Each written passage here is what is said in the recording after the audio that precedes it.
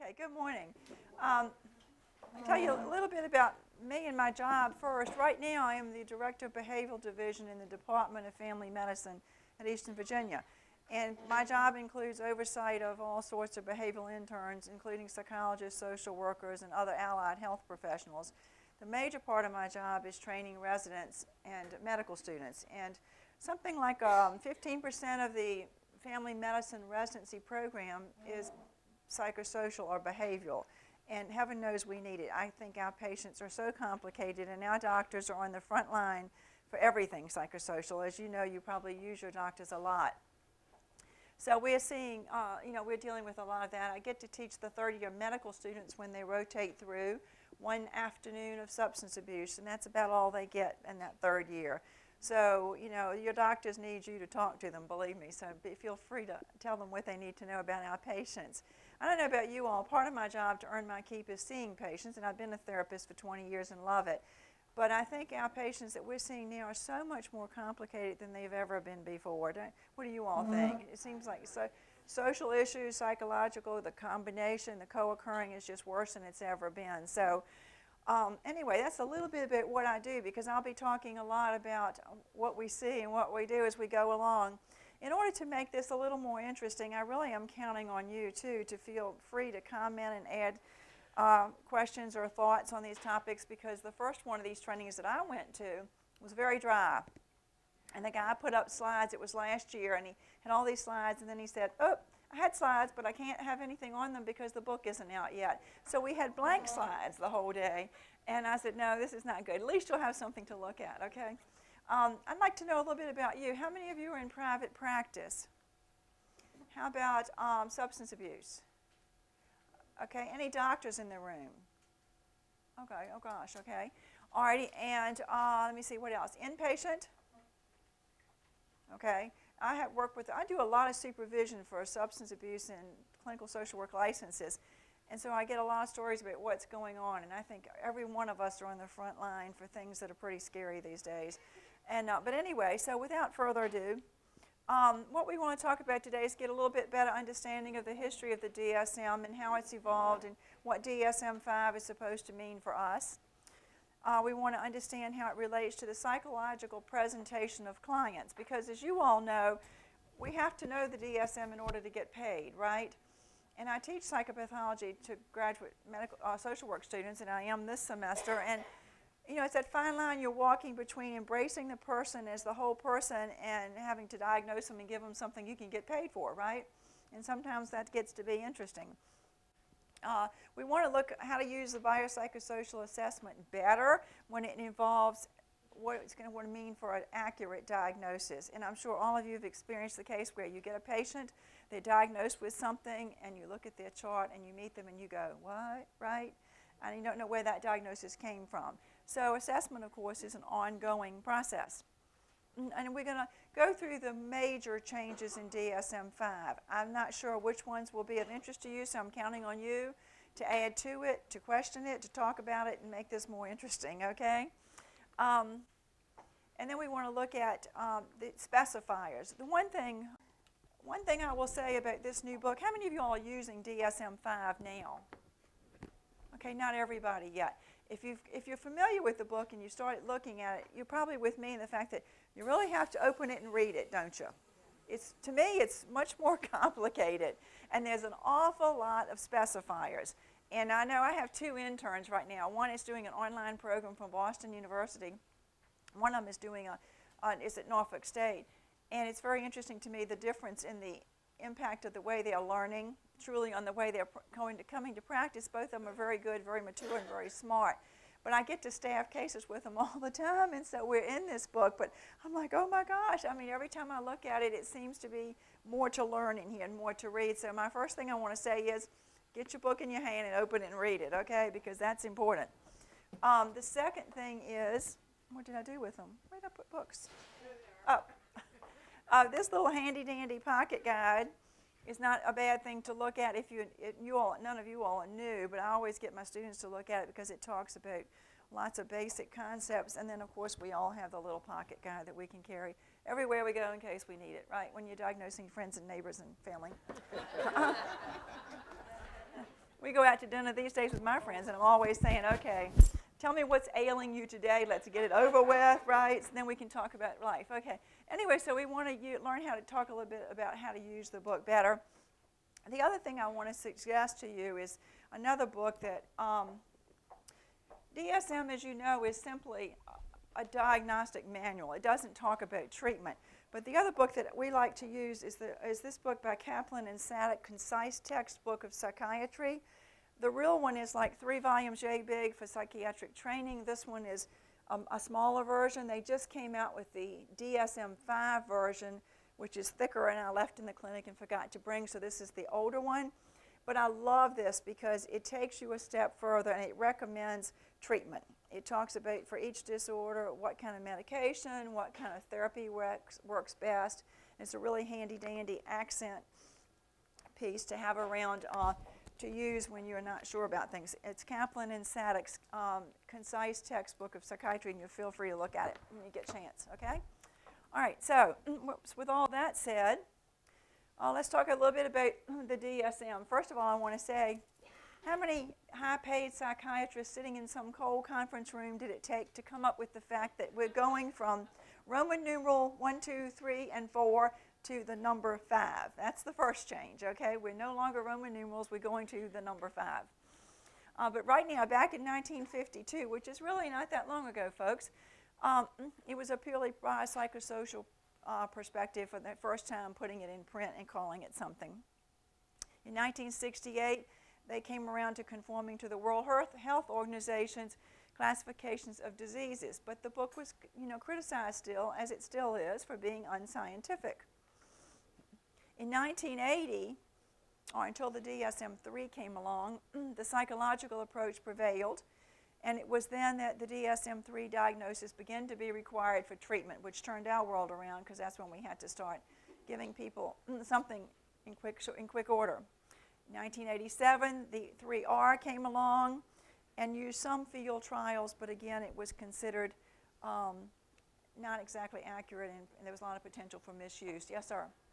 My mother is uh, deceased, but she was an RN, uh -huh. and when she was in school, they gave her a little manual of psychiatric terminology. Uh-huh. A lot of it, I, I don't even know what they mean, but they have the name of the illness and the di- and the definition. Uh-huh. And that was printed in 1938, 37, something. That's all that they had. That's all they had. Right, and it wasn't used officially either. It was, yeah, right. So we have come a long way with this. Um, 1994, we came into DSM-4, uh, which began to add the cultural information, which is, I think, is so important and it was based on more field trials. 500 field trials, for those of you that ever read research articles, you know that 500 field trials really isn't a whole lot when you look at it. But the important part of this one is that it added the PI system, the person and environment. And they began to look at the um, multi-axial system, okay?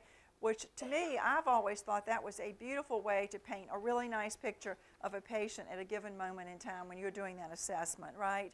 Uh, I really think the person and environment aspect is what really makes our work so important and certainly moves us above the doctors. I'm always amazed how my doctors don't have a clue about so many things about the patients when they, after they are talking about them. Anyway, so it was changed to reflect psychosocial and environmental problems, which I think is an enormously important addition, uh, particularly given the world today. And it continued the descriptive approach, of course, and includes information on uh, research and more field trials, which is all about science. Okay, so, and as DSM-5 comes along, we're moving into and away from descriptive into a little more scientific based, and I will talk more about that when we get to the substance abuse disorders. So basically, let's go back a little bit. If we're going to use this book to diagnose patients, and how long do you have to come up with a diagnosis on an intake? An hour, right?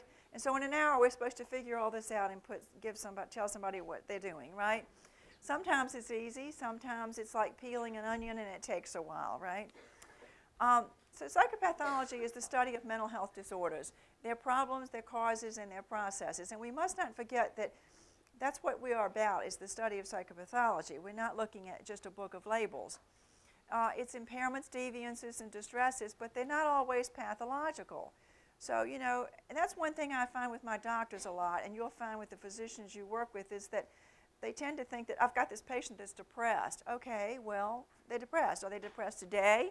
Or are they depressed for a long time? Or how bad is it? But they don't go there. They, don't, they miss the point that you can be starved, broke, or lonely and distressed, but that's not a pathological diagnosis, right?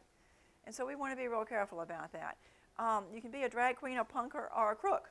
And that's pathological, but it's not necessarily psychopathology. It depends. It depends on a lot of things, right? Um, mental health disorders must be clinically significant in order to uh, be a, a, true diagnosis, and you can or may not, may or may not have biological changes. So I think that's one of the things that we have to think about in doing the assessment. I love it when I'm reading students new intakes or process recordings, those dread things, and they'll say uh, they have these now these 20-page intakes that some of the agencies have. Any of you all doing that kind of work where you have a big intake?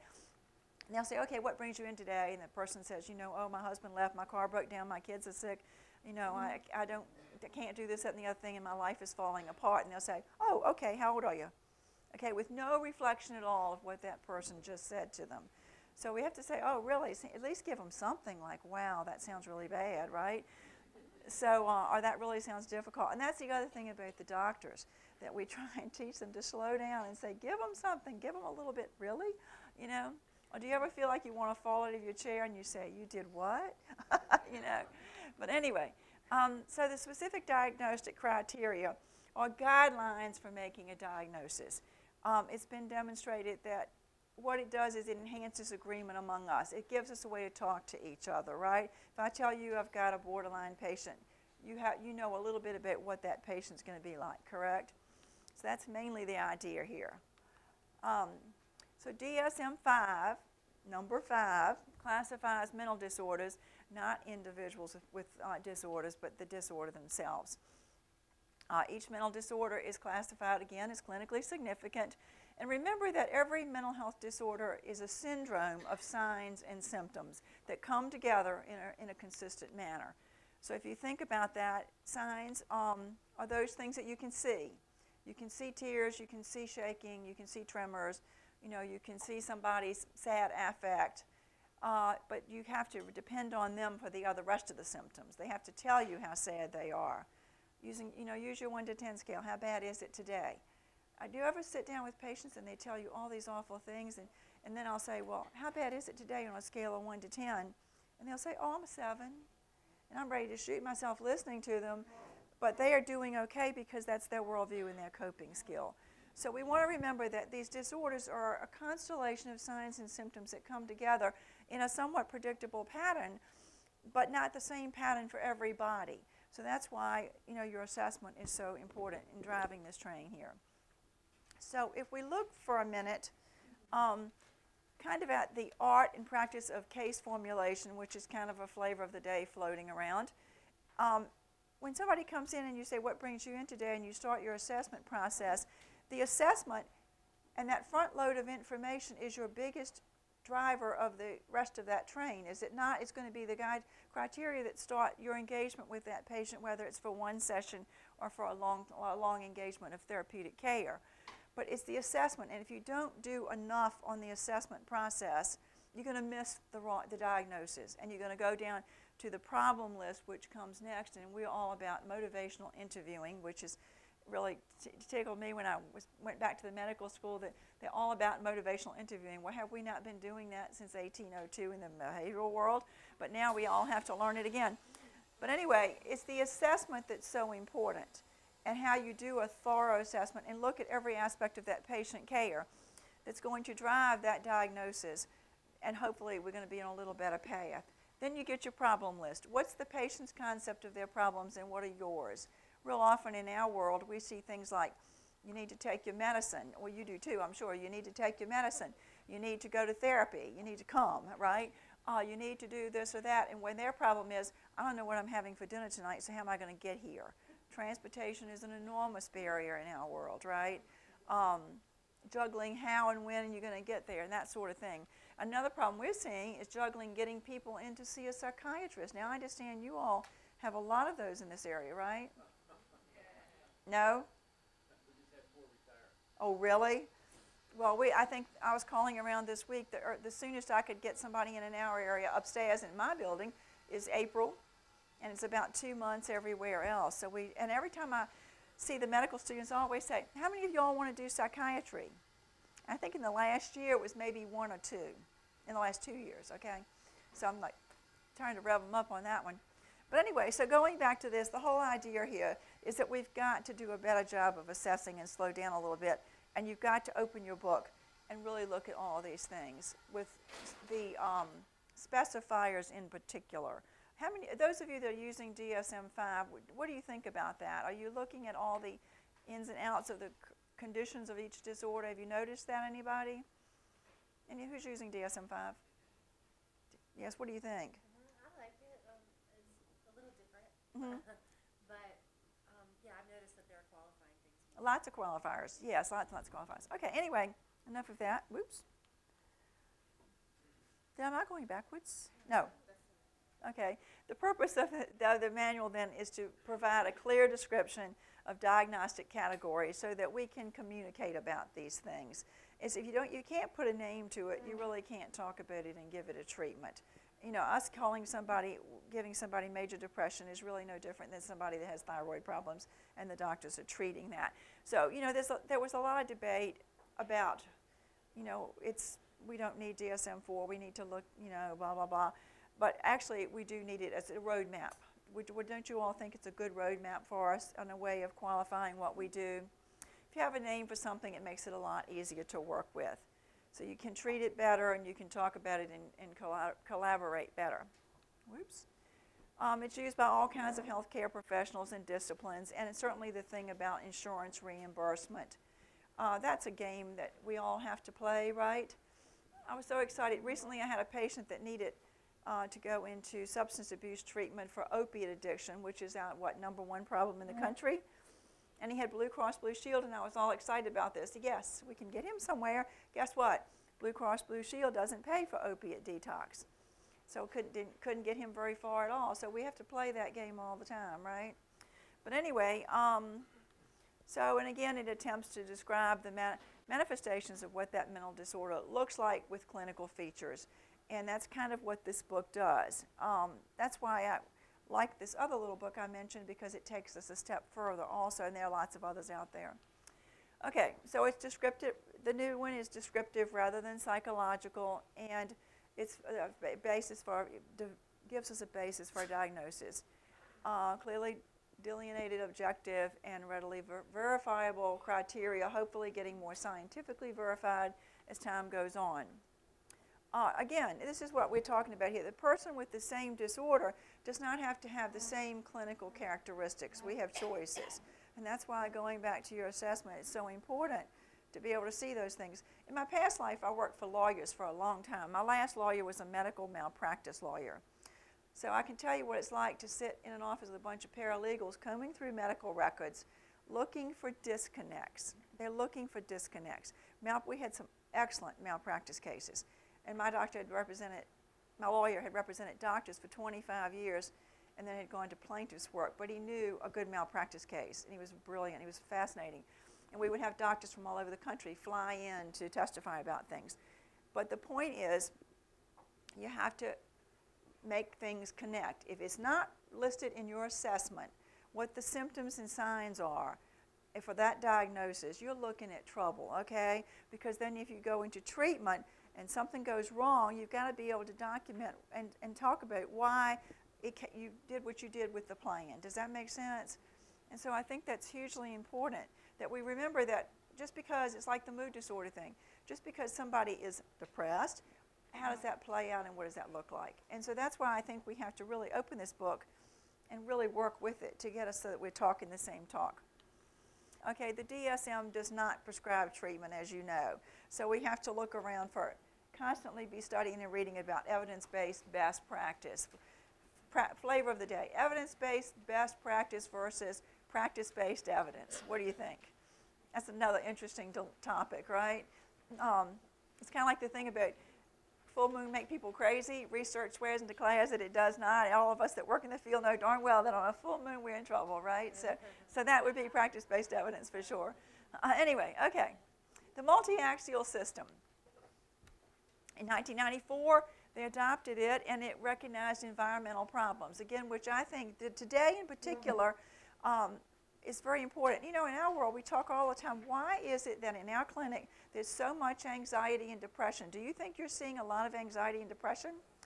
Um, why now? So we talk about why are things so much worse? What are the environmental factors here that we're considering? Well, you know, certainly the economy has something to do with it. excuse me, job, job insecurity. If you lose a job, you lose your insurance, those kind of things. What do you think about the media? Does the media hype us up? Hey, this rain coming tonight. I didn't know if we were going to get here this morning or not, listening to Don Slater last night. It's coming, okay? Ebola is coming. Everything is coming at us live and in person, block by block. And I think is making people very anxious. But when I talk to the young people, the medical students or the PA, the PA students, and I'll say, what do you think is driving all this anxiety? What do you think they say? Facebook, social media, absolutely. It's amazing. They immediately say social media. One of the residents was sitting in the clinic one day and he said, Dr. Early, I'm on mm-hmm. technology overload. And I said, What do you mean? And he said, I'm sitting here seeing 11 patients with electronic medical record. I've got patient portals, that wonderful thing that we can now see our medical records and freak out, right? Um, he said, I've got tasks coming in, which is how we talk to each other in house. I've got messages from the front desk. And he said, and I'm going home tonight to do my notes because I'm not going to have time to finish them today. And he said, you know, you, the compulsiveness of the Facebook, the email, you know, the email, the, the tweet, the Instagram is just getting really so fast-paced and so uh, important. But I think we have to look at the context that our people live in. We're telling obese people to go for a walk and they're saying, I can't because I might get shot. And that's a reality, right? So, I mean, I think we're living in a world that's creating a great deal of anxiety. So we have to look at that and consider that when we're looking at diagnosis. You know the five axes. I don't have to preach to this audience about that. Um, the global assessment of functioning was always interesting, wasn't it? In, in, in, psychopathology class, I'd give them cases and we'd come up with GAF scores, and they range always from 80 to 35 for the same case. You know, you just never knew, right? So I'm, that one going away is not so bad.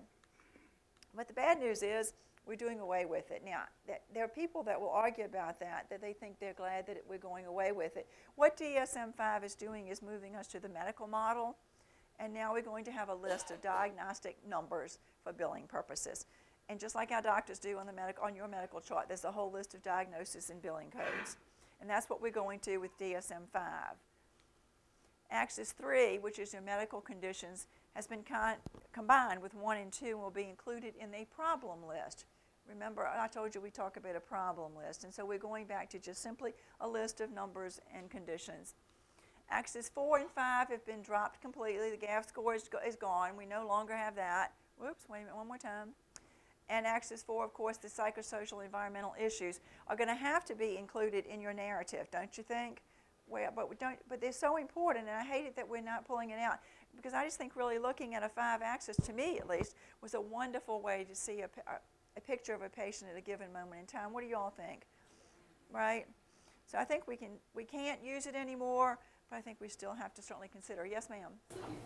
Actually, you are not allowed to use it anymore? No, ma'am. I think so too.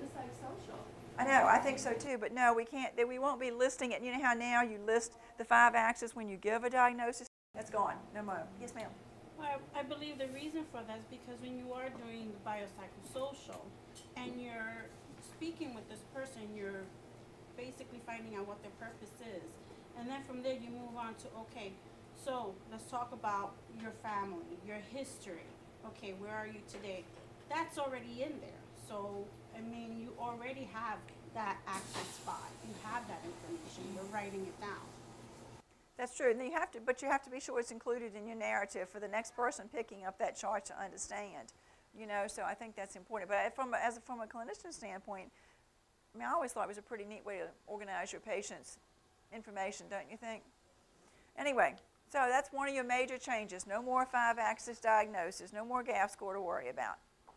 So the order of the book, it's arranged by the category of mental disorders. The order is entirely different now. If you remember in DSM-4, you had your childhood and infant and childhood disorders first. Um, they've taken away from that. Um, They've done away with that chapter completely and they've included them in other chapters. And actually, if you think about it, a lot of those diagnoses of infancy and childhood you know, belonged in other areas too, so it would, that part's not so bad, I guess. But there again, you've got to open your book and, and learn to understand it.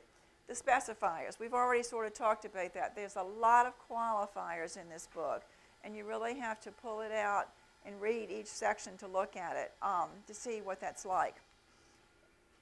So we'll start a little bit with the anxiety disorders.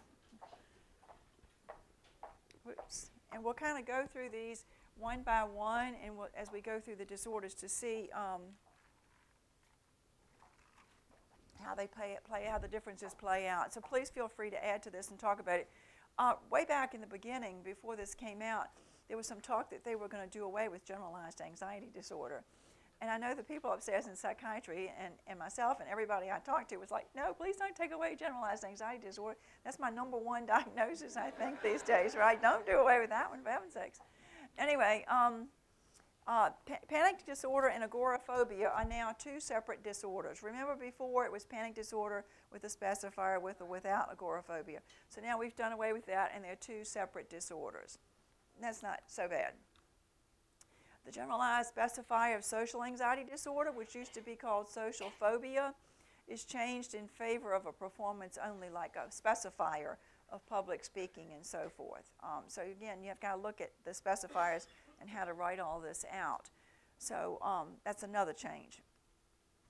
Separation anxiety uh, disorder and selective mutism are now classified as anxiety disorders prior, other than being early onset like they were in DSM-4. Does that make sense? They're still there, they're just in a different place. So the arrangement of the book is different. If you, um, you have to explore that part of it too. So that's pretty much the anxiety disorders. Um, any questions or comments about that? Do you, how do you feel about agoraphobia being a separate disorder? Yeah, I think so too. I never, I don't have trouble with that one. Right, makes sense? Mm -hmm. Do you see a lot of it?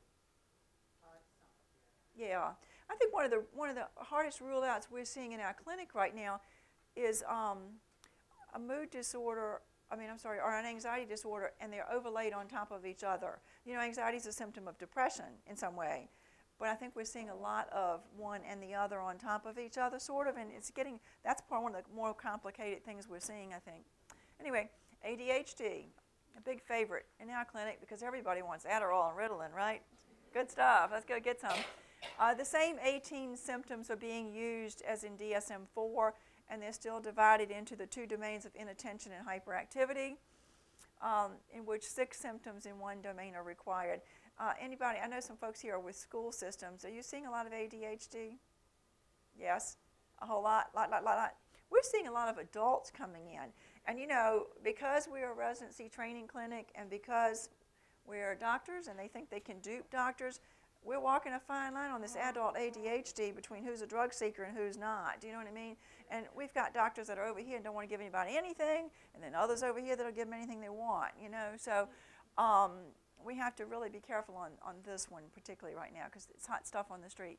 But anyway, that's pretty much um, this, this, you know, that kind of thing. The cross-situational requirements have been strengthened to several symptoms in each setting. You know, to, and we keep, I keep saying to the doctors, don't go jumping on ADHD until you get that three-pronged evaluation, the primary care doctor, the teacher, and the um, uh, parent. Is that what you all are doing in the schools, looking at the three-prong? Yes? Okay. Anyway, so it, that's still to be looked at. Um, it's been changed from symptoms that cause impairment before age 7 to several inattentive or hyperactive impulsive symptoms before age 12. So they've increased the age the age on that from 7 to 12. What do y'all think? So, a comorbid diagnosis with autism spectrum is now allowed. It was not before. Anybody want to comment on that? Anybody work with autism? Okay. And then, of course, um, the threshold change has been made for adults uh, to, re to reflect um, of the ADHD of five symptoms instead of six. You know, the adult ADHD screening tool is so simple. Anybody that does it can have ADHD if you know what, if you know how to write answer the questions correctly. You know what I mean? So you really going back, you really have to get a good history here, uh, because we're really we're really run scared on the medication front these days. There's so much interaction and of medicines anyway. But anyhow, that's kind of ADHD. Anybody want to add to that? Yes, sir. Being on that facility, are they looking at the nutritional possible causes of ADHD in children? You're reading, they're reading a lot about that these days. Yeah, of course, you know, we're all worried about diet. And, you know, they, I went to a lecture just recently on obesity and the, the, the eating habits and all that's contributing to that. That's an epi- it's considered an epidemic in this country right now. So certainly they're looking at that. Then there's the thing coming out about gluten. Is it gluten contribute? Y'all, how do y'all feel about that? Anybody on, into the gluten thing? What's that? we give up one more thing, we might as well start. It's day by day, isn't it? Eggs are good, eggs are bad. Milk is good, milk is bad. Okay. Anyway, that's kind of the ADHD thing. Just remember now that we've changed the age for the adults. Oh, excuse me, and um, the uh, the year, the, the age change. Okay. So, um, autism spectrum disorder. The new DSM-5 name reflects the previous categories of those four things that are now on a spectrum. Okay which puts us back to reading the book about how you how you put wh- what where on the spectrum. You really have to understand what they mean when they look at this. Anybody diagnosing? Nobody's diagnosing autism spectrum disorders. Yes. What What do you think about this? Um, I think it's good. I think it's a better description. A better description? Good. Not so. It's not so confining, is it? Yeah. Yeah. Good. And that's the big difference here is that uh, you know you have one name for the, what was the four disorders before. Uh, okay, it's still characterized by de- deficits in communication and social interaction and restricted repetitive behaviors, interest in activities. My daughter has three children. We had three under three, which has really been interesting. Um, and she called it one day. She goes, I think he has ADHD. And she, I said, why? I said, give it up. I think he's. I think she's two. It's okay, you know. And then she'll call me and she'll say, oh, I think he's got autism. He's just so focused. And I'm like, give it up. You can stay off the internet. Stay off the internet. Yes. Addicted homes can misdiagnose with ADHD, but they really, uh, really are solid. Yes. And a lot of times depression. A lot of these kids are really depressed. We see a, we see a lot of dysthymic disorder from some of these family situations. Just that low grade, life is not good, I don't feel right. Do you know what I mean? That it's just amazing. But I think you're absolutely right. And I think the other side of it is that we we try and be real careful about. The doctors try and be real careful about is that a lot of what looks like hyperactivity is lack of parenting. Would you all agree with that? Going back to being careful about diagnosing. One of my psychology psychologist friends in Virginia Beach said he went to Catholic school. Nuns had rulers. We stayed in our seat. you know, but I do think it's a, that's where we go back to a lot of combination of environmental factors. Don't you all agree? More so, more complicated than ever. I can't get over how people live these days. I mean, I must be getting old, but it's just, I, keep thinking I'm not going to fall into my chair. But I just cannot get over the lack of respect for elders or family members or for each other, the amount of abuse that we're dealing with, that kind of thing. I really do think it's alarming. What do you all, am I, am I seeing a, we, you know, a different segment of the population? Anyway, okay, specific learning disorder uh, combines the DSM-4 diagnosis of all those things, reading, mathematics, and written expression, and so forth, that we used to see into one uh, called a specific learning disorder. Whoops. And I guess anybody with the school systems, you all work with the specific learning disorders a lot? Some? Okay. And probably that you all will see them. The rest of us don't do much with this. Would you agree? Um, that's another thing about the book. Whatever it is that you're doing the most of, that's what you're going to have to focus on studying, right? Um, four refinements to oppositional defiant disorder. That's another popular one, isn't it? The symptoms are now grouped into three types angry and irritable, argumentative and defiant behavior, and vindictiveness. Uh, oppositional defiant disorder. And again, going back to what you said, sir, don't you think a lot of times we're looking at kids that are depressed or, or feel uh, impaired in some way? Um, And, and I want to throw one thing about the social media thing. Uh-huh. I think there's an underside of that, which I think is a Robert Burton, I think, that was referred to as anonymity many, many decades ago. called what? Anonymity. Uh-huh. Sense of social isolation. Oh, yeah. With inner emptiness and feeling real disconnection. Uh-huh. So we fill in that emptiness with social media, then we get overwhelmed. Yes. It raises the question, of where and how we connecting? We, we enjoy our Facebook friends, Right. is that really a substitute Do you know, it's interesting you say that because back in, do you remember when Columbine happened, uh, however long ago? I went to a talk not long after that by a guy who was a psychologist who had been called into Columbine as an expert at that time. And he said, and back then all we had was email. We didn't have all this other stuff, right? And he said, you know, he said, these kids sit home alone in rooms by themselves. Nobody watches family TV. Everybody's got a computer or a TV in their room, and they they don't and they're missing the social interaction. He said it's very easy to kill that which you don't know. Right? And I think that's a huge issue for us right now. And you're right about the isolation. And no matter how many friends you have, you know, it's like everybody on Facebook looks better, acts better, the pictures are greater and grander, they're doing wonderful things, you know, and you're feeling like chopped liver, right? You know, so it's a lot of pressure, a lot of pressure. You want to post on that today on, uh, this afternoon on Science Friday, here over, we're have a segment on when you're bored and you don't know what to do with your time, and all of a sudden you pick up your iPod or whatever. Instead of doing that, allow yourself to daydream. It could be very Yeah, I I saw an article on that daydreaming thing, and you know, meditation all of a sudden is getting a, a big push because people need relaxing time. We have no downtime at all. Yes. You know, this is a big issue I teach, and I teach in college, and I, I tell them, you know, of course I want to constantly be connected, and I tell them, you know, the problems about you need to learn to self-soothe. But I see another issue in our bored in school, which I was. I looked out the window. There are no windows. That's true. That is true. But it's a little bit harder. But they've never learned that concept, and you know, they're beginning to understand how dangerous it is if you can't learn to self-soothe yourself. Yes. But nobody's ever told them this stuff. And right. I, I mean, I see it. They are obsessive. Yes. Yes, ma'am. I know as a child, you know, your parents used to tell you, go outside and play. Uh-huh. Go outside and play. A lot of times I would play by myself. Now I have little nieces that are like one and two, mm-hmm. and they'll pick up my phone and Yeah. find Mickey Mouse. I'm like, that, I mean, to me, I Yeah. can't understand. So it's like they don't have no imagination. Right. You know, and I tell them, well, if you imagine to do this, and they look at me like, imagine, what do you mean? Imagine. I'm like, really? You so I think that we have to get our kids out of the mode of, you know, watching these TVs, getting on these, you know, and playing with each other, interacting because it's making us lazy.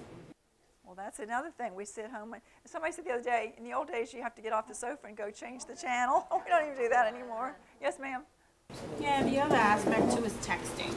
Uh-huh. You know, um, it's, you know, I, I talk with a lot of the children and I let them know, you know, texting is not a correct form of communication. You have to have that face-to-face contact or that telephone contact. One, because sometimes what's being communicated comes across the wrong way. Yes. The Oh, other yes. thing also is you're not really building your communicational skills. Also, writing skills are horrible. Horrible, horrible. I'm grading papers and it's like, oh my gosh. I know. Verb tense and, you know, it's just really, anyway, enough of that. We, okay, enough of that. Thank you. okay. Um, let's see.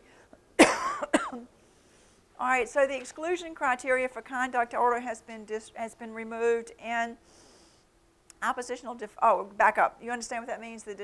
Okay. And then given that many behaviors of oppositional defiant disorder occur normally in developing children, and they do, do they not? Um, and adolescents, a note has been added that provide guidance on the frequency of the acting out that's needed. So it's not just my little granddaughter being two and, and throwing a fit on the floor, okay? Um, she's not hyperactive, she's two, and it's okay. You know what I mean? So anyway, um, a severity rating has been added this time to the criteria showing the degree of pervasiveness of the symptoms. So there again, pull your book out, read the specifiers um, of symptoms across settings. It's an important indicator. So again, look at your book. If, you, if you're working with children, how many of you work with children? Oh gosh, a lot of folks. Okay. All right. Um, let's see. Schizophrenia. Two changes for schizophrenia. Um, they eliminated the uh, special attribution of bizarre delusions and first-rank auditory hallucinations, that of two voices talking to each other. Uh, in DSM-5, two criterion A symptoms are required for a diagnosis of schizophrenia. Remember, in one time you had to have bizarre delusions or some, for some reason or another, so they've kind of done away with that. Uh, the second change is the addition to criteria A that the individual must have at least one of those three symptoms, delusions, hallucinations, or disorganized speech. uh, which is not a, you know, that's pretty much standard, right? Okay, anybody work with patients with schizophrenia? Okay, yes. Um, subtypes have been done away with, have been eliminated due to their uh, difficulty in diagnosing. How do, how do you all feel about that? It's not, that's not a problem, is it? I'm kind of glad about that one. Paranoia certainly what you could recognize pretty easily, but the rest of it kind of all ran together. What do you think? Yes. Um, eh, people, how many of y'all work inpatient? Okay, yeah, good. Uh, you know, it was interesting. I have to share this story real quick too. Um, one of my supervisees works at one of the best agencies I've seen in a long time for the for the chronic and persistently mentally ill in North Carolina. He um, they had a day program. They have a psychiatrist on board. They have outpatient therapists there. I mean, everything you would want for these folks. A case manager, I mean, community support team, I think they're called, that go out in the community and do things. Wonderful program like we don't see much of anymore. And uh, before Christmas, one of his patients came in, and uh, he's a supervisor, so his office is not arranged in a way that's patient friendly, okay? So this guy comes in and he's agitated and he's off of his medication. And so he's acting out, and he's a big guy. He's 6'2, and he weighs over 300 pounds, okay? So he's a big guy. So anyway, on Wednesday morning, he comes back in, he comes in when my guy goes to work. Uh, the office, the posters are off the wall, torn up, shredded in the middle of the floor. Everything is in disarray and things are thrown around. And the only guy there is this fella. And so he looks around and he goes, looks at the guy and he goes, "What happened here?" And the guy goes off. And he's and so, not realizing it, my guy went on in his office. The patient goes off and starts screaming and ranting and raving and cursing, and comes in and, and accusing my guy of accusing him of something he didn't do. I mean, how they do, okay? and proceeds to throw everything off the desk at my guy, pushes everything across the desk, and picks up the computer and wants to throw it at him. So, meanwhile, somebody walked by and heard all this and called the police, which is what they do there. And so, my guy, knowing how to do this, said to the guy calmly, uh, You're right, I really did do all these awful things you're saying, and I apologize, and I we're going we're gonna talk about that. Put the computer down and let's talk about it. Let me check on a patient outside here, and I'll be right back, and we're going to talk. So he let the guy leave his office, thank goodness, because he was in one of those situations where he's behind the desk and the man is over here.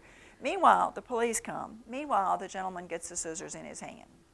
And so when the police come, he goes after the police officer with the scissors. And so they taser him, and the taser doesn't work. And so the guy keeps coming with the scissors, and so they shoot him. Okay? Now, it was amazing to me. We hear it all. We hear a lot about this these days. The guy's okay. He lived. He's not okay. He got shot in the gut, but he, he lived. But the, the point of the matter is, it brings home to me is that we have to take our work very seriously. Okay, we really do. And it was a real wake-up call. I went back and I told my doctors about it. I told the clinic about it because our offices are not arranged that they're between the door and the patient either. And I think we have to remember that we're working with fragile people and that fragile people are dangerous. When they are off their medicine, and, and he said, this guy's like a tank in there. Do you know what I mean? And the reality of it is, I think the police get a lot of bad raps in these cases. But are you all familiar with the rule of 21? And this is definitely an aside. The rule of 21 that somebody with a knife or scissors can cross 21 feet and stab you before you can shoot them. Okay? And that's why when you hear police officers shoot some of our folks, that it's not that they're standing there shooting them 10 or 11 times and that they didn't try to taser them first. It's that these people are big and strong and dangerous, and so are some of our drug addicts. Do you not agree? And I think the biggest concern we have in the clinic with people going off is people that want drugs and they deny them drugs. And they get, they really do act out. But just a little, share that story that it really was a, a wake up call to me. Not that I don't think about it all the time, but just to hear it that close to home, it can happen to us. Do you know what I mean? So, anyway, be cautious because people are in our care for a reason. And of course, schizophrenia is one of our most serious illnesses that we deal with. Anyway, all right, so schizoaffective disorder. Uh, the requirement now is that a major mood episode be present for the majority of the disorder's duration um, after criteria A has been met. Okay, remember it used to be you had a mood disorder uh, in the absence of what it, what was it, how does it go? And remember, schizoaffective disorder is kind of the mirror image of mood disorder with psychotic features. And that's a fine line in diagnosing too. You know what I mean? Is it a mood disorder with psychotic features or is it schizoaffective because this is a very serious diagnosis and a hard, difficult disorder. Would you agree? So again, if you're working with folks like this, check out your book and look at the things.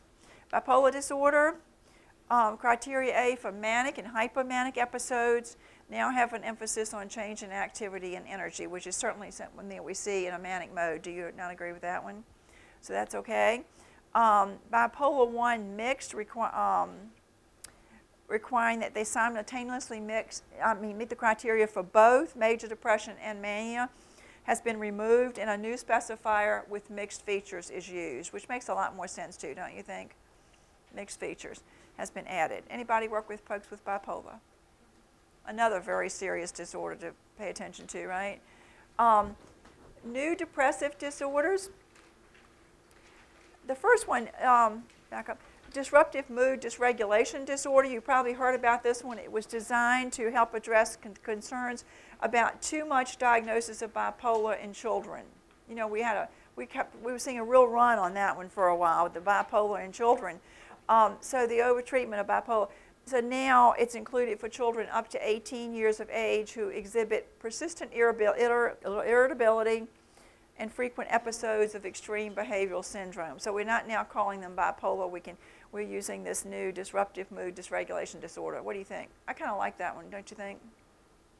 Um, this one too is interesting. Premenstrual dysphoric disorder has been moved from DSM-4 things to study to an actual diagnosis.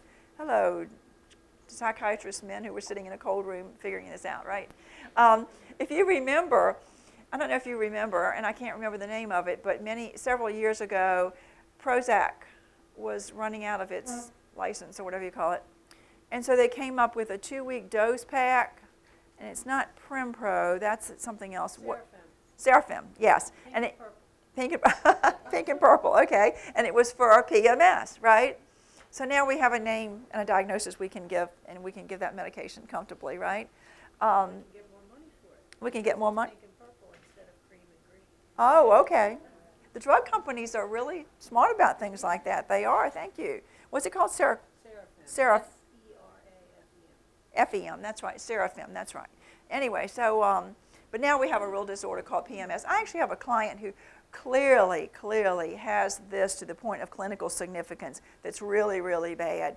And she's working with an uh, GYN doctor on it too. But I mean, I think it is a very real thing that certainly in doing your assessment, um, you know, you need to know this. Dysthymia now falls under the category of persistent depressive disorder. We no longer have dysthymia. And that makes me kind of sad. I kind of like that diagnosis too. I see we see a lot of that. But I think uh, now it's called persistent depressive disorder, which includes chronic major depression and the previous dysthymic disorder. So what do you think about that one? Remember now we're into PDD, okay? Persistent major. We see a lot of that too in our, in our clinic. We really do. Do you all? Yeah, a lot of dysthymia, Where are you? private practice. Private practice? Okay. Alrighty. Um, let's see, what else? Any comments on that one? Any of the depressive disorders? Like them? Okay. Um, bereavement exclusion. Um, in DSM-4, there was an exclusion criteria for a major depressive episode lasting more than two months following the death of a loved one. And the exclusion is omitted in DSM-5 because really you don't, you don't recover in two months. It's not like there's a time limit on recovering from the loss of a loved one, right? When that, you know, it can go on for a very long time. Um, the depressive symptoms associated with bereavement-related depression respond to the same treatment as regular depression does, and so we've done away with the bereavement exclusion. Okay, yes, sir. Yeah, I, I have a problem. Okay. Because I, I think there is a danger in pathologizing purely everything. Yes, you're right. I would agree. It's a normal reaction to being grief. Right. I don't know necessarily that grief has to be medicated. Sometimes yes, sometimes no. Right. Exactly. But I think I'd rather look at the interpersonal situations, the person has religious beliefs, uh, Yes. community, Right. or not, or family, a social network of real human beings who Right. can provide comfort and support, or rituals that they can use to help them work through. Right. Um, Support groups. Support groups. Yes, exactly. So uh, I, it just it saddens me to see four even pathologists.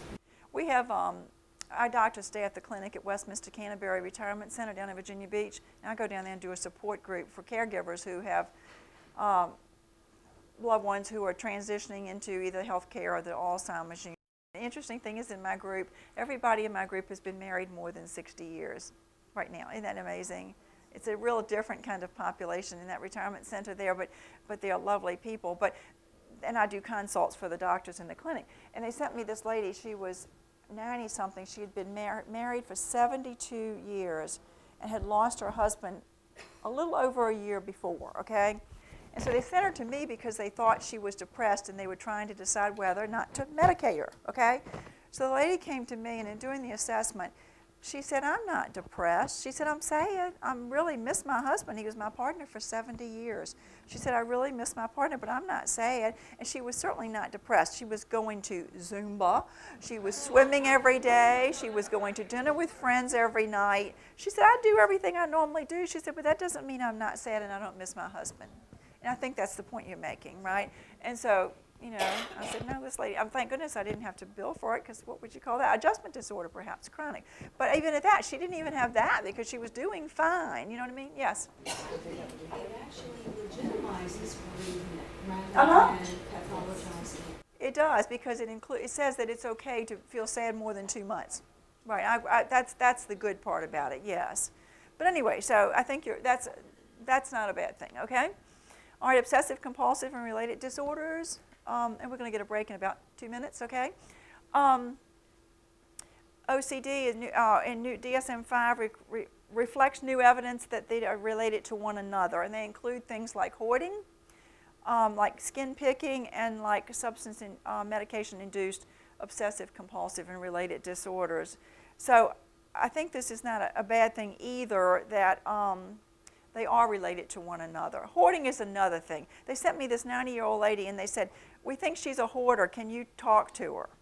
Okay, some of these people are hoarders, and it's dangerous when you might fall over the trash that's stored in your small apartment, okay, or large apartment either. So I talked to this lady, and she said, look, she said, I moved from a big home to a, an apartment here. I moved from an apartment here to an efficiency here. I moved from an efficiency here to enhanced services, one room. She said, I've gotten rid of everything. My son helped me clean out my papers and books that I love. And she said, all I have left is a few collections. So we went up to her apartment, and that's all that she had. And it was nothing about hoarding. She had several cases of a collection of lighthouses from everywhere she'd ever traveled, a collection of something that her children had given her over the years. That's not hoarding. That's all she had left. Do you know what I mean? But I think the hoarding, there is a hoarding disorder, and it's obsessive and it's a compulsive behavior. And I think we have to recognize that. But they are all combined now. So what do you think about that one? Okay? That's not bad, right? All right. Um, Dissociative disorders, real quickly. Uh, have anybody working with dissociative disorders? Where are you anyway? Oh, okay. Private practice before you. Oh, okay. Okay. Um, derealization is included in the name and symptom structure of what used to be called depersonalization disorder and is now called depersonalization derealization disorder. So that's not so bad.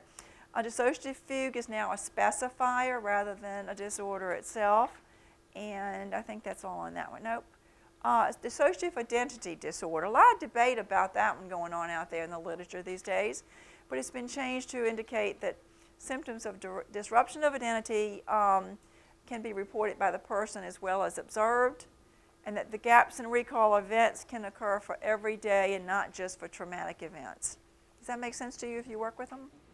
I I haven't really worked with the idea, but uh, I've read, uh, it's a wonderful book called Dissociative Identity Disorder. It's called the Collective Heart by Sarah Krakauer, Okay. who's a local person, which is in Williamsburg. Oh. And it's sounding to me that it's really questioning whether it's a separate entity as opposed to symptoms. There's a lot of literature out there questioning whether or not it's a separate entity or a collection of symptoms. You're right. And we'll talk about that with PTSD too in a minute, okay? All right, let's take a break. I think you have some refreshments somewhere around here, and we'll be back in about five or eight minutes or so, okay? Thank you. Okay, moving right along here. Are we doing all right? You're not bored and asleep yet, are you? Okay. All right. Uh, somatic symptoms. Uh, excuse me. I had never. I was never familiar with somatic symptoms so I went to work at the medical school, and I am amazed at how much somaticism we see, somatization we see.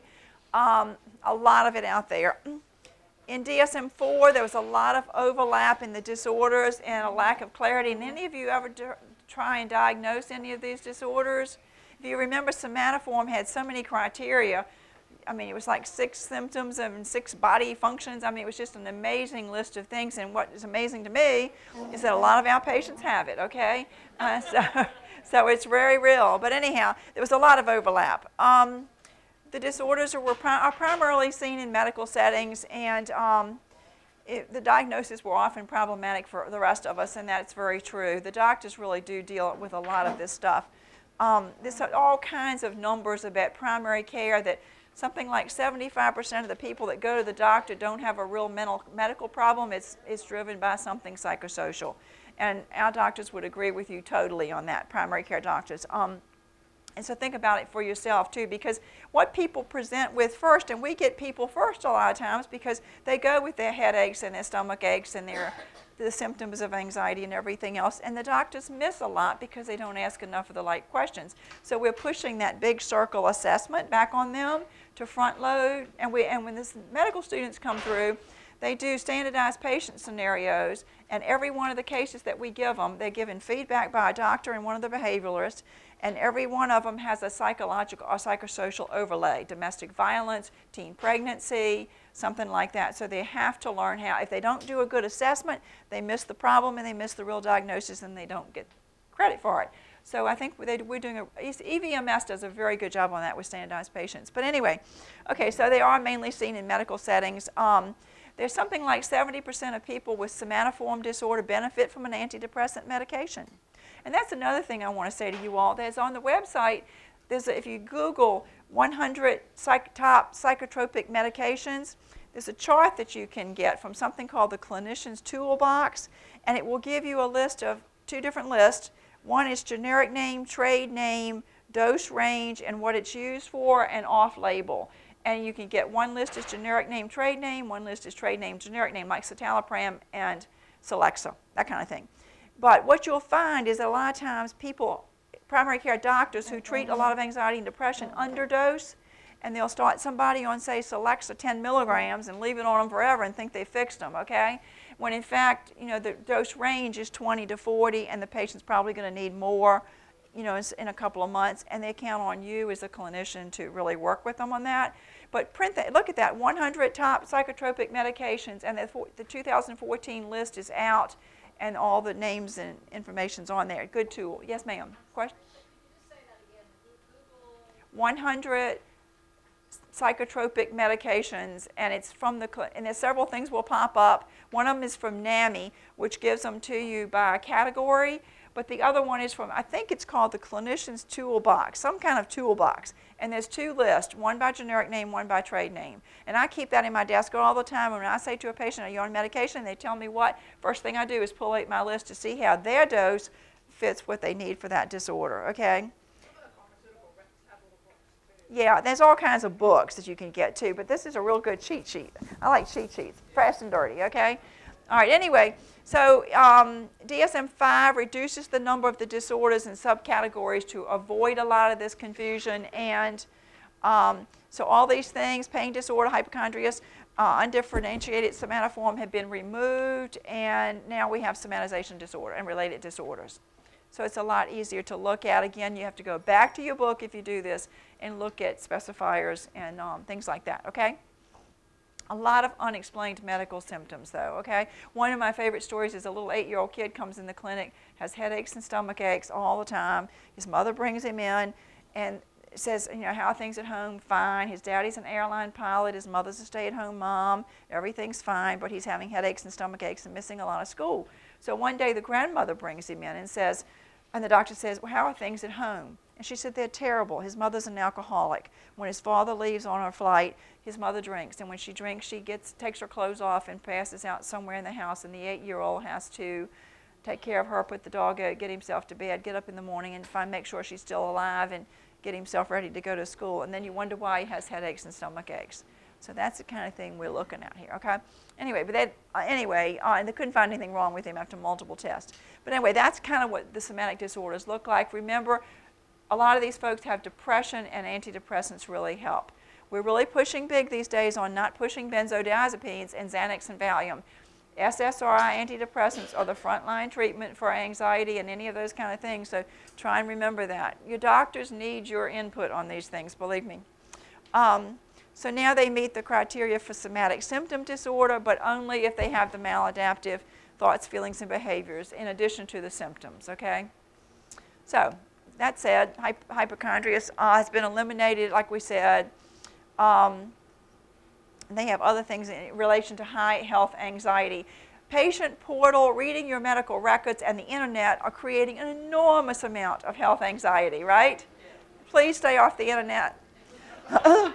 Please don't read your latest CAT scan and panic about what it says because you probably don't understand it. It's the worst things happen to us is people that read the medical records. Okay, anyway, so there's both way, two ways to that story, but there's a lot of anxiety around it.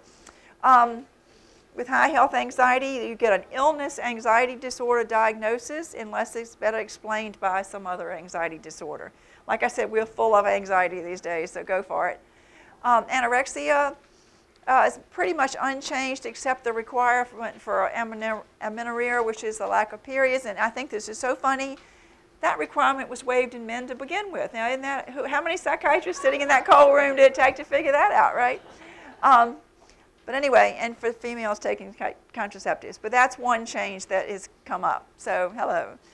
Um, bulimia, the only change is the reduction in the required minimum average frequency of binge eating um, from twice to once a week.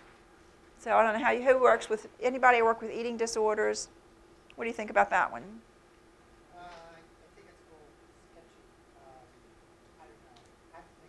Yeah, I know, it's interesting. Uh, binge eating disorder. The only significance from the preliminary was that the average frequency of binge eating required has been changed from twice weekly for six months to once weekly for three months, which is identical to the DSM-5 for bulimia. So, hello. Eating disorder. Eating disorders is a very. Now. Before it was eating disorder Yeah. So you like this? Yeah, binge eating disorder. Yes, yes. There's a lot of that. And that goes right along with anxiety. Seriously. All right. Um, let's talk about addiction. Now, how many of you all work specific, uh, specifically in substance abuse? Everybody works with substance abuse. It's everywhere, right? Um, this is an interesting point.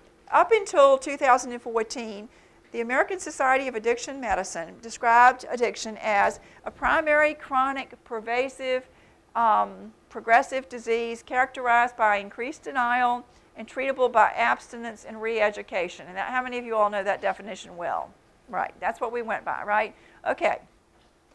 It is a brain disease, and if anybody wants to, argue about that today, you need to read some literature because I think it's so impressive. What neurobiology is finding out about addiction is marvelous these days. Any of you all go to the Virginia Summer Institute School here in Williamsburg? If you haven't been, I don't care what level of practice you're in, you need to go. They have wonderful training, but they have some doctors recently that have been coming in talking about the neurobiology of addiction, talking about the compulsive behaviors. They can study brain chemistry that describes every bit of all of that, right down to the behaviors. So it's very interesting. They are finding things out about addiction now that are changing the way we treat as we sit here. It's those findings that are driving the medications, Campral, uh, antabuse has been around for a long time, but things like Campral, Suboxone are coming out of neurobiological research, and it's very exciting right now in this field, I think, very exciting what they're finding. But that's the old definition. Now, the new definition from ASAM, as of August of 2011, I'm sorry, is a primary chronic disease of brain reward, motivation, memory, and related circuitry. Wow, what does that say? That's talking science, isn't it? Dysfunction in these circuits lead to characteristic biological, psychological, social, and spiritual manifestations. Got spiritual in there now. Um, this is a reflection reflected in an individual pathologically pursuing reward and or relief by substance use and other behaviors. That's, that's the change in these definitions to me is a huge reflection of what DSM, where DSM-5 is moving in the, to the medical model, as someone mentioned at the break, and of where we're going in this whole field that we work in now into knowing so much more about what, what's driving the behaviors and the presentation of our clients. What do you all think? It's an exciting time. If you're young in the field, go read articles, read literature. I know it's the worst thing you want to hear, but it's really so exciting what's going on at that. Yes, sir. Well, one of the things I've worked in addiction since the beginning of my career, and um, you know, one of the things that's really great about it, someone comes to me with paranoid schizophrenia, there's just so much we can do about that. Addiction, we can is- really treat. and Oh, I love it. Really uber get better and. That's right, I agree. Offer people real hope. Yeah, I agree. I think working with substance people say, "Why do you like substance abusers?" They, you know, they always relapse and they're such losers. And I'm like, "No, they're not. They're people like you and I. And underneath that, if you peel that onion and take away that addiction and start working on real stuff, it's a beautiful process." And I've got some folks that I work with that I just am so enthralled with what they do with their AA and the 12-step work. And the other thing is, I teach those things to everybody. I mean, one day at a time. Keep it simple. The Serenity Prayer. Amen. Brother, that solves a lot of problems right there. Those AA. AA whoever those, those two guys back in 1935 that started AA were quite wise, were they not? But you could do a whole talk on AA sayings. Play the tape to the end, one, you know, that kind of thing. And I love the one about drive looking through the windshield, not the rearview mirror. Right? Right? Anyway, so this, this is kind of where we are, folks, with these de de definitions. Um, okay, now, so we've got this new definition, which we just went through, I think, right? Yes. Okay, uh, no, more. This is more. Addiction is characterized by an inability to consistently abstain, impairment in behavioral control, craving is diminished, and so forth. Uh, you can read all that stuff. Um, it's cycles of relapse and remission, as we well know, right? I think it's one of the most predictable patterns of anything in the DSM, don't you all? When the way it plays out and the way it presents. Um, and without treatment or engagement in recovery, it's progressive and can and does end in death. And gosh knows we're seeing so much of that right now. The mixing and matching of medication is horrible. It really is. But anyway, so now we've gone away, as you know, to substance related and addictive disorders. That's our new category. Um, it combines substance abuse and dependence. We can no longer talk about those things, right? Uh, into a single disorder measured on a continuum of mild to severe. Now, here again, you've really got to get into your specifiers and read your book on how this plays out. And you've also got to go back. You've got to front load with a good assessment because we're counting numbers of criteria to qualify the specifiers. So one to two, three to five, five to seven, whatever it is, you got to darn well know, okay? So we're back to this continuum. Um, each, whoops, okay, each specific substance, other than caffeine, um, is addressed as a separate use disorder, and that's really not that much different. Alcohol use, uh, you know, the different drugs that are listed in DSM, but nearly all substances are diagnosed based on the same overarching criteria. Now, I want to show you something. For those of you that don't have the opportunity, and I don't know where it is in the book, but I'm going to try and find it real quick. There's a chart in your DSM, if I can find it, um, which I probably can't right this minute. It's a chart, here it is, okay. On page 482 in the DSM 5, it's one of the best charts you ever want to have, and I never knew it was there until I started teaching psychopathology, okay? But it lists the drugs down the one side, and across the top it gives you every other disorder that is mimicked by that substance use. So when you look at alcohol-induced whatever or something, here's your chart, okay? If you've never taken the time, which I had never done before either, to really look at this book, this is a fantastic chart. It's on page 482, and it's diagnosis associated with each substance abuse class. And it's a real eye-opener when you look at that, folks, okay? So I think that's a nice little addition there. Um, so anyway, uh, so we want to talk about each specific substance as a separate use disorder. And uh, diagnosis of substance abuse previously required only one symptom. Do you remember there was always a lot of gray area with substance abuse, was it not? It was almost like nobody really ever fit that category, you know what I mean? So, um, but um, DSM-5 requires two to three symptoms from that list of 11. You need to look in the book and look at the list of 11 because it's very important that we understand the number of those criteria that are needed for the severity specifiers, okay? Um, Drug craving has been added to the list. Thank goodness, that's not new, is it? You know, um, and problems with law enforcement has been taken away. Now that one I'm not real happy about because I often thought that legal problems were a really good turning point for people. What did y'all think? And I really hate it that they've taken it away as a specifier. Yes, ma'am. What I see with my clients are young people, and if it's not really a exactly. Right, exactly. That's true. And alcohol is one of our worst drugs as far as problems go, and it's legal. So that may have something to do with it too. I don't know, but um, you know, it's Include the narrative, so. That's right. That's exactly right. And you know, it's funny. We try and tell the doctors and people that if you ask your patients, uh, and that goes for us too, about use of alcohol and or other drugs, because alcohol is a drug, and we need to remind them of that sometimes. But um, you have to be specific and ask about each category. And is there anything else? Because like spice and bath salts, I mean, we've got to keep up with what's hot on the street too. And again, in our clinic, we're frontline for everything weird. Um, and you, this lady's from Nag's Head, and I will say I used to work for Albemarle Mental Health, and we were down there. Nag's Head gets it first. Whatever's hot and new, it goes to the beach first. Bipolar people love the beach because when you go on vacation, you don't have to take your medicine. Isn't that right? They have the weirdest crisis calls down there you ever want to hear. Isn't that right? Truly. Um, but anyway, um, back to the marijuana thing. You have to ask about each drug. And when you say to young people, particularly these days, do you ever use any drugs? And they'll say, no, no. How often you smoking pot? Every day.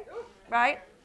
You know, and it's just amazing to me, and it's amazing to me the quantity and the mixing and matching that's going on. So we really have to be very particular when you're doing. And I'll tell you another thing. Aetna Insurance came into our clinic a year ago and did a chart review from all the behavioralists, you know, psychiatry and psychology and all of us, looking to see that on every intake, nine, what is it, number 98701 or whatever that uh, intake number is, that everyone had a substance abuse history freestanding.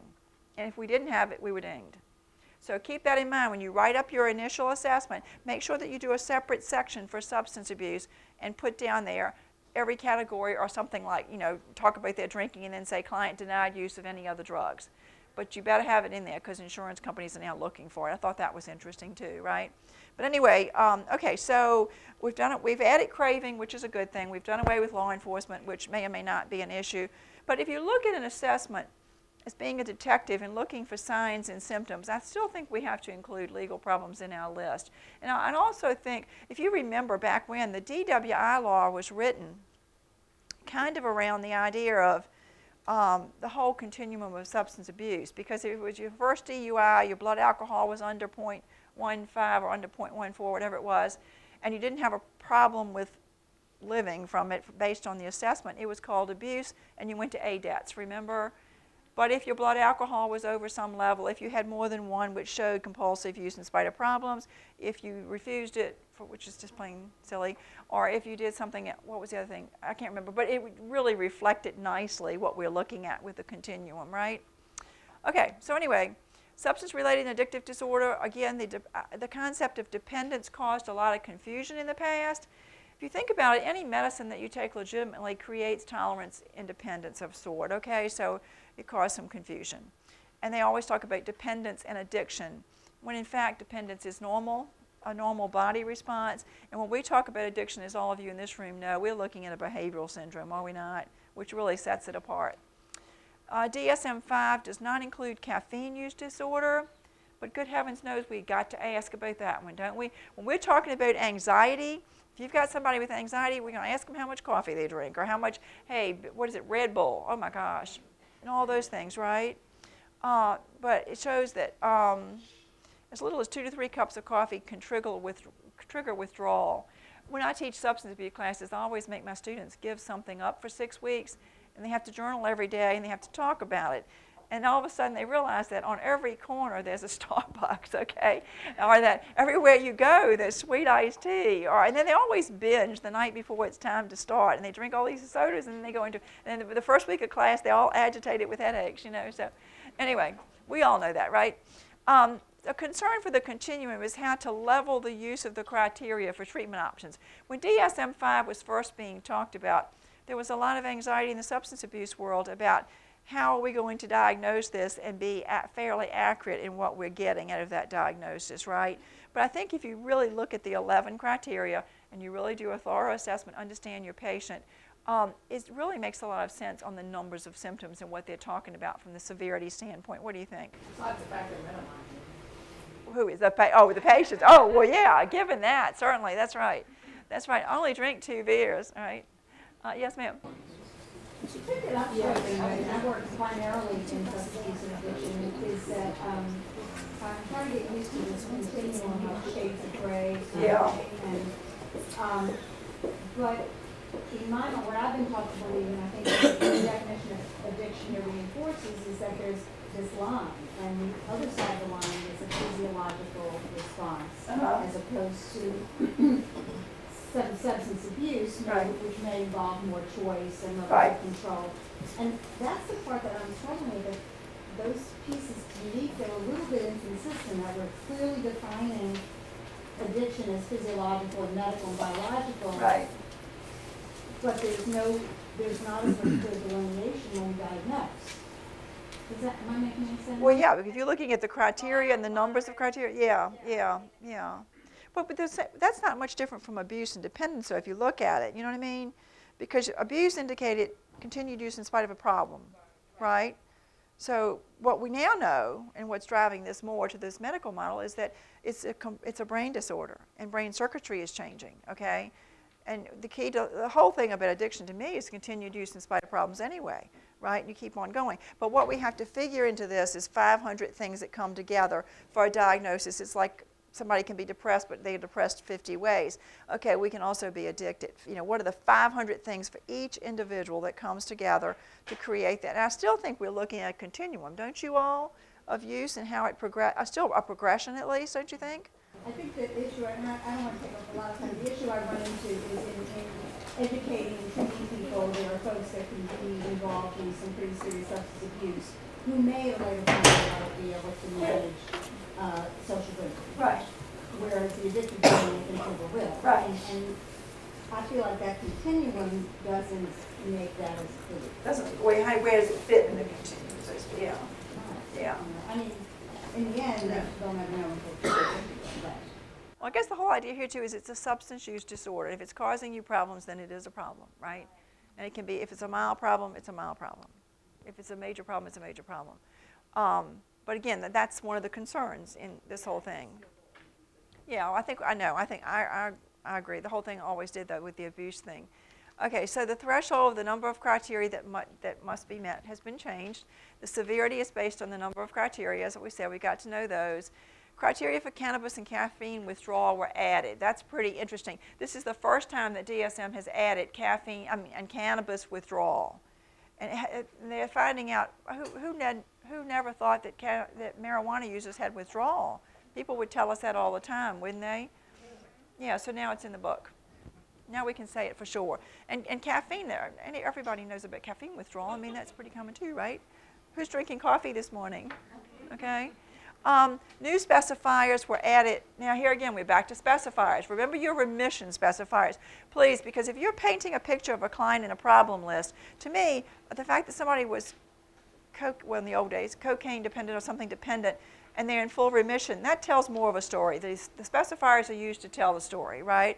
So go back to this. Um, new specifiers in a controlled environment and on maintenance therapy you know, maintenance therapy is methadone and other such things. And that's not anything new or exciting. I mean, that, that makes sense, does it not? The controlled environment, of course, is prison or wherever like that. Okay, um, gambling disorder. Who asked me about gambling at the break? Somebody, yes. Process disorders. A lot. It's interesting that video games, internet addiction is under study. Now that's one. Why did they sit in that cold room and decide not to include those when, they, to me, they're such a problem right now, right? And I will tell you, I'm a game addict. I mean, you know, I'm the one that picks up my phone and wants to play Angry Birds everywhere I go when I'm waiting for something, right? Um, do I continue to use it in spite of problems? Yes. It gives me neck aches and headaches, and I waste a lot of time, but I still do it, right? So, I mean, if we put it in, in context, but, but gambling is the first one. Um, the increasing inconsistent evidence that some behaviors activate the brain reward system. And they're telling us that all of these things do. All of these things do. It changes your, your brain chemistry. The other thing that they're finding is that things like marijuana, things like uh, alcohol, when you quit, it, marijuana in particular, it takes the brain up to three years for the memory to return to pre-using normal. And see, the other thing that's interesting to me, and I know you all find this, is that with addiction, we're seeing a lot of people that are 35 years old have been using drugs since they were 12. They, more, they went through developmental ages years with using mind-altering chemicals. So we're looking at people that are 35 that act like they're 12, legitimately so, right? The other thing that we're seeing um, that is so much fun to talk about, I think, is the baby boomers.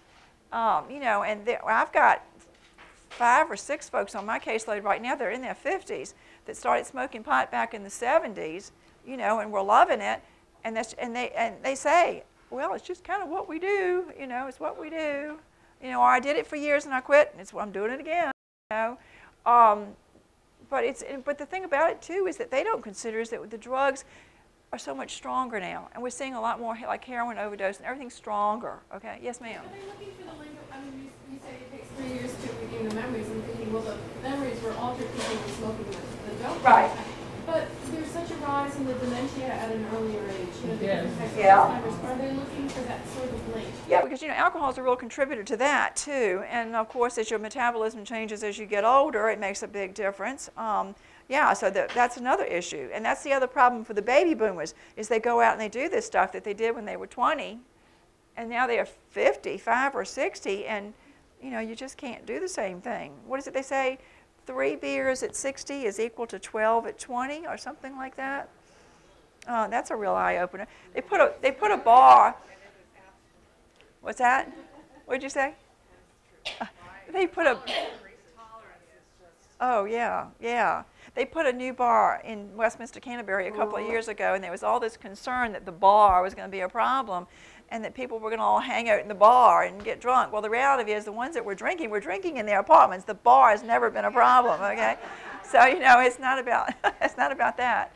Anyway, okay, so gambling has been added. It, it's going to we're going to see a lot more of this coming along, and the word is that DSM-5 will have a revision sooner than later, and I think some of these things will be part of it, don't you? Um, okay, so anything else about addiction that you all, are there compulsive disorders that you want to say, add? How are we, we're just using the new um, substance-related disorders, okay? It's interesting. We're definitely going to the medical model, and that's kind of what we're looking at, being driven by all of these things. Okay, major and minor neu- neurocognitive disorders, uh, dementia and amnestic disorder are now named major neurocognitive disorders. So one thing that I think we have to remember going back to the assessment process is the rule outs. You know, and before you can give anybody anything else, we've got to rule out medical, and DSM still says that, rule out your medical conditions and medicine effects, and then rule out substance abuse. And that is so important that we get that primary disorder of substance abuse uh, considered early, early on. Do you know what I mean? And that's another thing that the doctors miss. They real often, and you know why they miss it? They miss a lot of PTSD, they miss a lot of anxiety, panic attacks, and they miss a lot of substance abuse. And do you know why? They don't ask the right questions. They don't take the time. So we're pounding into their heads, you've got to ask about substance abuse because it's a primary problem, and you've got to rule out medical, medicine, and substance abuse first. Yes, ma'am? You also have to depend on the patient being honest. Yes, you do, and they're not, and we know that, right? And we try and convince them of that. But if you don't ask, you don't know you don't have a clue. That's right, you know. So anyway, they um, uh, that's important. And then your next criteria would be your cognitive disorders, and then your psychotic disorders, and then your mood disorders, and then your anxiety, and then you go on down the list to everything else, right? But you've got to do your rule outs in order to come up with the right diagnosis. I worked with a psychiatrist one time, and I thought I was being so clever and creative early on, coming up with these really wonderful, appropriate diagnoses. He didn't care. Every patient he saw was 296.32, major depression, recurrent, moderate, because he could prescribe medicine, and that's all that mattered. You know. So anyway, but that's not our responsibility. And as somebody pointed out at the break too, um, we have a license on the line in a lot of cases, and we have a responsibility to our patients, bottom line. And if you're in an agency these days, and the mental health world is kind of crazy out there, no pun intended, and I think some of these agencies are pushing people to work at a production rate that is really not in the best interest of our patients. Would you all agree? And I'm telling my students and my supervisees all the time, in, in uh, North Carolina went through an enormous, horrible upheaval in the mental health system, and they are really under the gun down there about being pushed to do more with less. If you're being pushed to the point of unethical practice, you need to think about where you're working. You know, I really, and it's getting more and more serious about that. Yes, sir. When I, I'm retired this past year, but when I had residents and interns, I gave them three sessions to do an intake, Uh, really? Uh huh. to get all To. Lauren, that's right. That's that's good. Yeah. And so I didn't even tell them, uh, I, I trained to not even begin to do a treatment plan until after the third session. Wow, good for you. explain that to the, to the clients. Uh-huh. Take us some time to find out, you know, what, what the Well, it does. It takes time to get to know folks, you know, and, and again, you're not going to get the real truth till way later on with your substance abuse. Where were you? I was at Catholic Charities. Oh, that's a wonderful agency. Yeah, good. Okay. Alrighty. So anyway, uh, let's see. We talked about this a little bit. Um, oh, they now recognize. This is interesting. A less severe level of cognitive impairment called mild neurocognitive disorder, um, which uh, permits a diagnosis of less disabling syndromes that may still be the focus of attention, and that may have something to do with all the Alzheimer's kind of thing that we think we see. Okay. Um, Oops, okay, back up. Anyway, that's pretty much the overview of the major changes. What do you think? Anything you want to add or, cha- or change? Okay, we have another 10 minutes if you'd like. I have a little Jeopardy game I put together that might be a quick review if you'd like to do that, okay? You all ready? We won't worry about buzzers and time limits and dividing the room in half and all that business, but let's see, see what you think about this, okay? So we're going to play Jeopardy. Whoops. Now, the problem with this is if it's going to work, okay? We don't ever know. But there's our categories, okay? Substance use, more about substances, geriatrics. eh, Way with the future here, we're getting to be an older population. we got to pay attention to geriatrics, mood disorders, and schizophrenia, and more, okay? Who wants to go and pick a category? Go. Who wants to go? Yes, ma'am. And now I forgot how to do this. Wait a minute. I got to do this over here. I'm sorry. Okay, substance abuse for 100. Where, maybe? Okay, cut down, annoyed, guilty, or an eye opener? Who said that? What is, remember? What is cage? Yes, ma'am. Okay, very good. Moving right along here. Okay, well, pick a category. Um, okay, I'll do two hundred. 200. Okay, substance use 200. Minnie's cracking freebase. Anybody else? Stimulants, okay, anybody else? Okay, let's see. Amphetamines, right, stimulants, uh-huh, okay? We could spend all day learning hot ticket names for drugs on the street, right? Okay, let's see. Okay, you want to pick a, who said, sorry, you said stimulants, you want to pick a category? Substitute for Okay. Wait a minute, what happened here? Hold on, that's not, that's not right. Wait a minute. See, I told you it doesn't always work, okay? Uh, how about 400? Okay, the leading, the leading preventable cause of mortality, this is a weird one. Uh, Anybody want to take a? Abstinence? Let's see. Cigarettes, smoking, thank you, yes. Who said that? Yes, okay, thank you, yes. Okay. Pick a category? Food, 100? This herb is commonly used over the counter to treat depression and has significant drug interactions. Oh, yeah. St. John Wort, that's exactly right, thank you. The point here is, you're talking to your patients, excuse me, and you ask about medical and medication, please ask about over-the-counter and, and herbal, because there's a lot of stuff out there that people use and it does cause drug interactions. Okay, who said that? You did. Okay. The gender and age group where the rates of suicide are the highest. Elderly males 50 and older and adolescents, okay, let's see. Males 75 and older, who said that? Who said that? That's great, okay. Alrighty, moving right along here, pick a category. There's money involved. I know. Seriously, where's the prize? Uh, more about substances. We'll give you a free stay at the Farley. What did you say? I'm sorry. Um, more about substances. More about substances, let's see. The relevant mission of a drug that gets the quickest effect. Okay? Let's see. Whoops. IV drug use, that's right. Who said that? Somebody back there. Okay, thank you. Pick a category. Um, Wait a minute. It'd be nice if I could find it, okay? Yes? Uh, substance abuse, five hundred. Okay. The number of days metabolites of opioids can be detected on a urine drug screen after the last use. Important for us. Three days?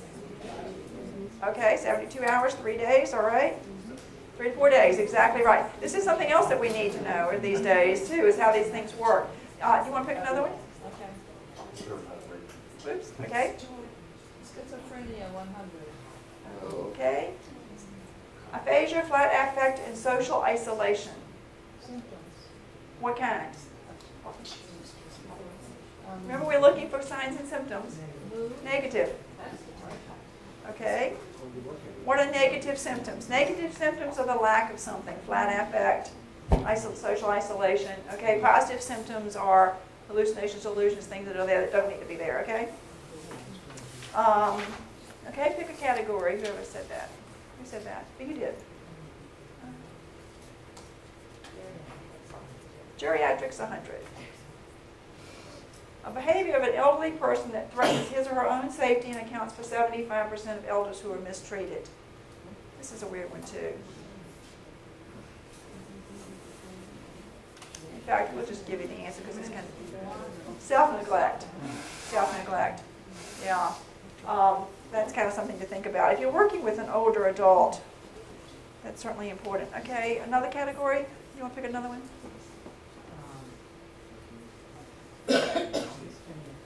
200 schizophrenia and more. Intrusive, troublesome thoughts or impulsive and repetitive rituals enacted to reduce anxiety created by obsessions. compulsion. Yes. Thank you. What, what are compulsions?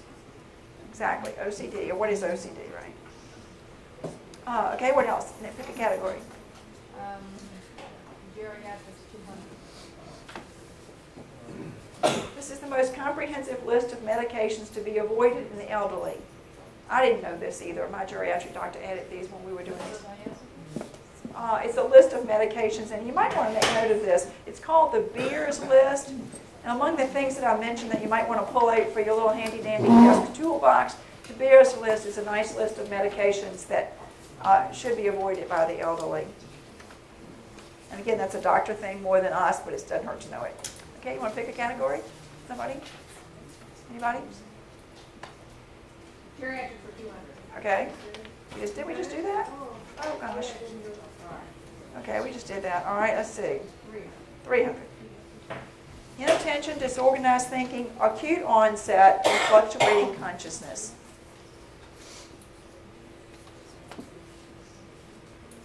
What is late afternoon at work?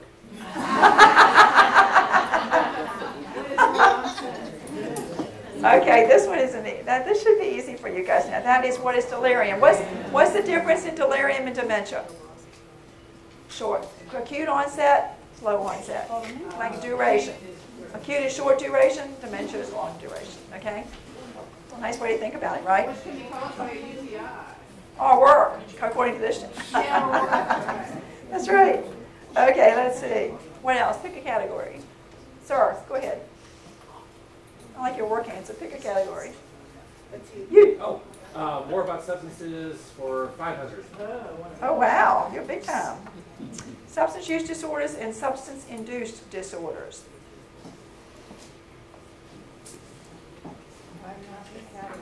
Yes, thank you. Who said that? Yeah, there you go. What are the two groups of substance-related disorders? That's right. Use and induced. Okay. All right, pick a category. More about substances, two hundred. The most misused prescription drug. Okay, all the above, actually.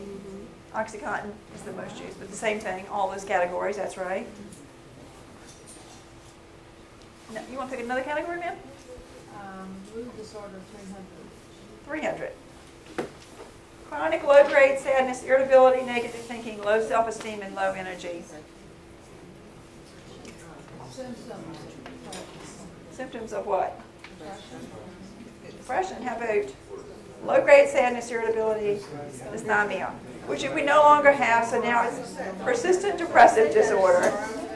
okay? Persistent persistent. Whoops, wait a minute. Oh, wait, back up. Whoops, whoops, sorry, back up. Oh, okay, history of numerous hypomanic and depressive episodes. Intensity does not warrant diagnosis of major depression, not due to any established organic factors. I don't know where we are on this, let me see. Cyclothymia, exactly. That's another one that we think, we see a lot of it. It's easy to get confused with dysthymia and with people, and you find too that people with depression that get on medicine all of a sudden feel better and think they're manic. You know, people that don't understand what any of this means, it really takes some education. Okay, let's see real quickly here since we're running out of time. Want to pick another one? You said that, you did. We already did that one? Yeah, we did. Okay. Okay, next, go ahead. 500, okay. A neurotransmitter linked to suicide. What is serotonin? Okay. Yep, you got it. Something else to know more about. We're going into science here, remember. Okay, pick one. Okay, uh, aborpag 76 for 300. The Okay. Time it takes half of a drug to leave the body. Okay? What is half-life? Absolutely. Something else we have to explain to our clients. You want to pick one? Median 400 about. Okay. Memory loss, dementia, depression, social withdrawal, plaques and tangles.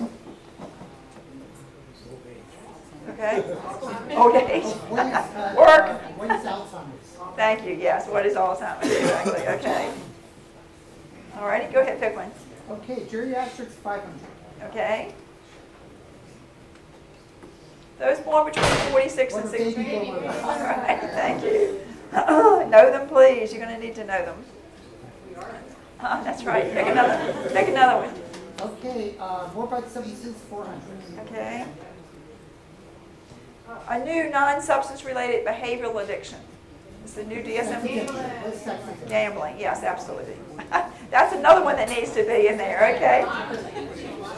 Pornography, I can't, I have a lot of clients that get in a lot of trouble with that kind of stuff. And they marry them when they met them online, talking to women all night, then don't wonder why they're on the internet all night. Okay, what else? Let's do, are we only?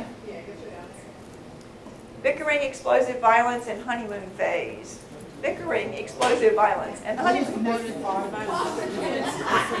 Well, three stages of abuse, exactly, that's right, okay, yes. Okay, next, sir? Oh, we don't need, Schizophrenia, yeah. This group as a whole engages in frequent suicidal acting out. and It's advisable to treat them with medications that have been found to have a low degree of toxicity because they often will threaten overdose. Borderlines? Thank you. What are borderlines? How many people have borderlines on your caseloads? Oh, yes, okay. Alrighty, and the last but not least, I'm not sure what this does, let me see. Final Jeopardy. Seventy-five percent of murders occur during this time of domestic violence. Okay? Okay? Oops. When is this spouse leaving? Absolutely right. Thank you. Thank you very much. It's been a great deal of fun. Thanks for your input.